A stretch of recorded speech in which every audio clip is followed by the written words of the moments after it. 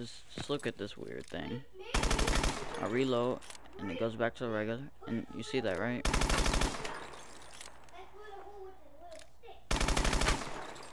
It goes to the normal, and then tactical knife.